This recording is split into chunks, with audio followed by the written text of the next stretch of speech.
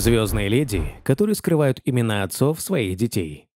В 2019 году Мария Порошина стала мамой в пятый раз, но ее тогдашний муж Илья Древнов был ни при чем.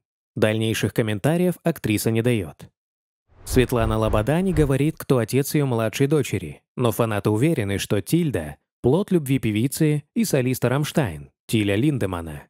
У Агнии Дитковските трое детей, двое из которых от актера Алексея Чадова и бизнесмена Богдана Панченко.